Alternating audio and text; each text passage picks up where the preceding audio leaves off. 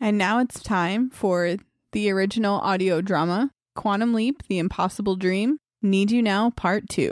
And in this episode, we have a special guest star, Jennifer Runyon. You might know her as Peg Stratton from Genesis. Yay! So uh, thank you, Jennifer, for being a part of the show. That is so cool that she's participating in our audio drama. It's awesome.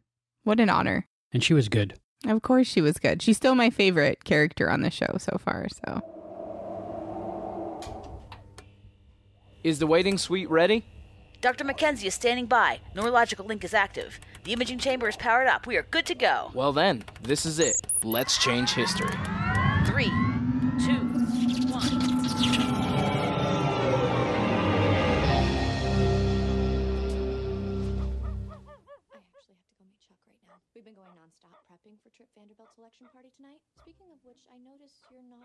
When you leave, That could only the game is always to figure out who you are, where you are, and why you're here.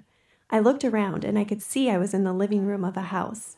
The TV was on, but I didn't recognize the program. I was alone in the room and there were no mirrors that I could see, but I was holding a phone in my hand, so I tapped on the camera app and flipped to the front facing camera. Wow, I'm a teenage girl. And I have a text. Send the money by tomorrow, or your photos will be on the internet for all to see. Oh boy. What if you could leap into the past, still facing mirror images that were not your own, still driven by an unknown force to change history for the better, and still guided by a hologram that only you could see and hear? But now you are also able to leap home. We've solved the problem. We live the impossible dream.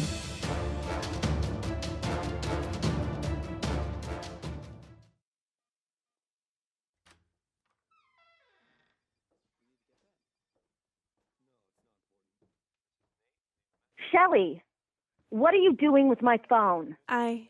Sorry, I picked it up by mistake. Give it here. Okay, but you just got a very disturbing text. Oh, so you're reading my text now? I said I'm sorry. I thought it was mine. What's this about pictures? Are you in trouble? It's none of your business.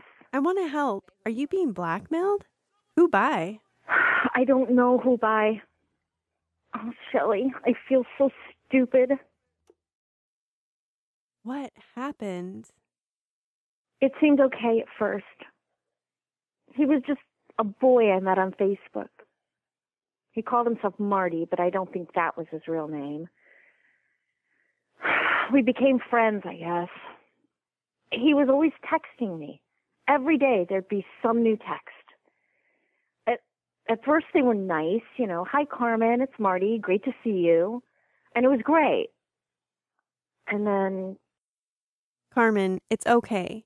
You can talk to me. right, because my little sister is going to solve everything. That's what I'm here for, I guess. He talked me into sending some pictures.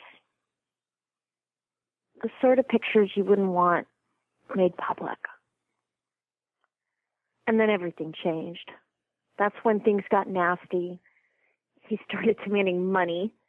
He said if I didn't pay, he'd publish the pictures. Well, I didn't pay.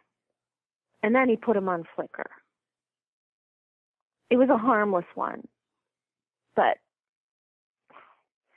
he still has the rest, the ones that are not so harmless. And now he's set a deadline. How are you supposed to pay him? Couldn't he be traced by the money trail? PayPal. I, I suppose he could be traced, but he's still got the picture, so I can't even report it.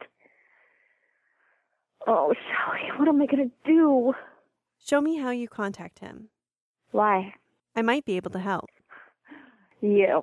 Trust me on this. I just want to make sure I've understood this. Amber has leaped back to the year 2010, Yes. into the life, but not the body, of one Shelley Cartwright. Yes. History records that Carmen Cartwright, Shelley's sister, took part in a series of minor robberies shortly after this leap date. She was eventually caught and went to jail. Ziggy says it's almost certain that that's when Amber needs a change. It's all very noble. But why should my company finance that? What's in it for Stockwell Industries? Peter, I can't make financial decisions for you. We change history for the better, but only in small ways. I know it looks like keeping one teenager out of jail is not very important, but that's not seeing the big picture. Think about what's happening here. In our waiting suite, right now, there's a girl from 10 years in the past, and if Dr. Mackenzie gives the all clear, you might even get to talk to her. Ignoring Amber, ignoring the effect that we may or may not have on history, for that alone, for the ability to interview actual people from the past, that's got to be worth seeing. Ryan, we've got a fix on Amber and an update on the mission. It's about cyberbullying. Cyberbullying? Ziggy says Carmen was being blackmailed by a cyberbully, and that's why she went down the road of crime. If we can stop the bullying, that would probably change things. I lost a niece to cyberbullying. What happened? She, uh, I don't really know. She was being abused online. She committed suicide. Back then, the authorities didn't take online abuse seriously, so nothing was ever done about it. I'm sorry to hear that. Ryan, the imaging chamber is fired up, and Ziggy has downloaded all the data to your handlink app. We're ready. Go talk to your wife. I gotta go. Barbie will look after you until I get back. No problem. Good luck.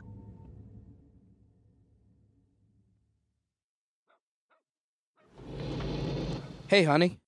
Yes, I am alone. Thanks for noticing. Oh, right. I guess it could have been awkward to answer in company. And now that we've got that out of the way, hi, honey. Here's what we know it's 2010. You're Shelly Cartwright, age 15. Shelly turns out all right, but her sister doesn't, so we think you're here to save the sister. That would be Carmen Cartwright, age 17. Ziggy says you're here to. Stop a blackmailer. I figured that out already. Right. But Ziggy doesn't know who the blackmailer is. Nor does Carmen, but I do know he calls himself Marty and how to contact him online. All right, show me. Barbie, watch this. Pay attention. Okay, here we go.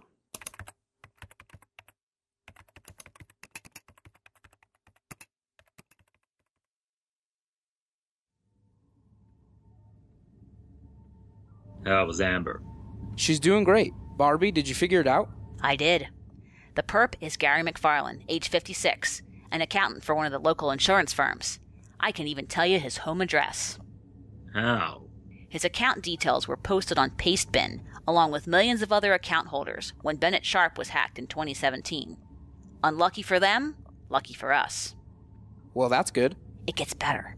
He lives locally, local to where Shelley and Carmen live. I mean, Amber could visit. Okay, I'll go tell her.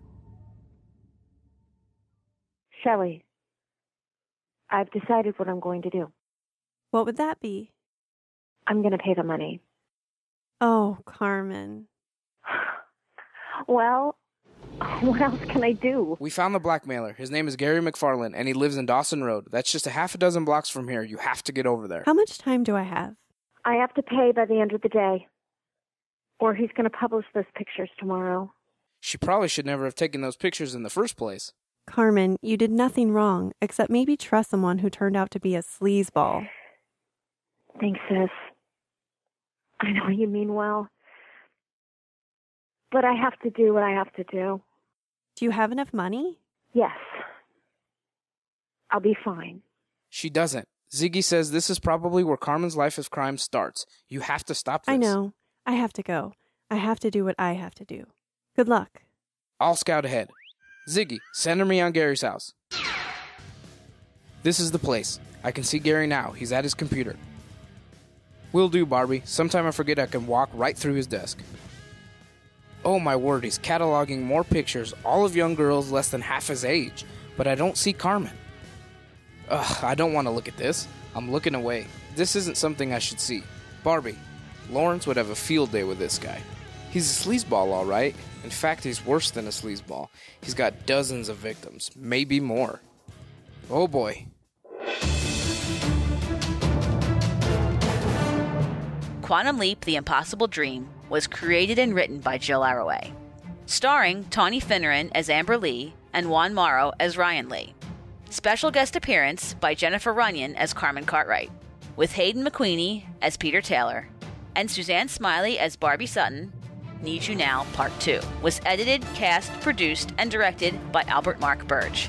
Narration by Suzanne Smiley. Quantum Leap The Impossible Dream is produced in association with the Quantum Leap podcast and is a Barren Space production.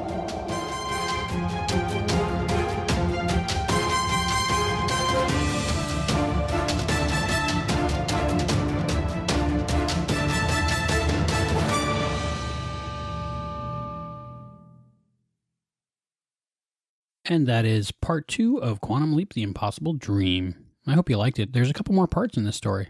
I'm actually a really big fan of our audio drama, and I've I don't think I've ever listened to audio dramas before. I listen to audiobooks, but this and the one the Signal had was the only audio dramas I listened to. So, and they're both by Jill. So, She's amazing. Tawny's doing a great job. Everybody involved is really doing a great job. Even Heather is doing a great job. I looked around high and low for an artist for our cover art for this new project. and no one stepped up. So I said, Heather, you have to draw. So it's not perfect, but actually, I'm actually kind of proud of the. I love it. I think it's really good. I drew it all out of nothing. I don't know. I came up with it all, but it actually kind of turned out better than I thought it was gonna. I am loving where this audio drama is going. Yeah, I really like it. I think it's cool that it adds an element to our show. I love Jill's writing, so I'm, I'm a big fan.